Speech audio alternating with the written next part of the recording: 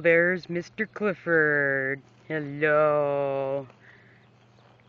I don't think there's much shade.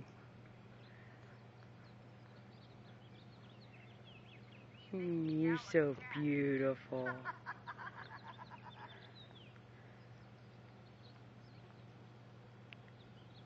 Love you, Clifford. There you go. you're a good boy.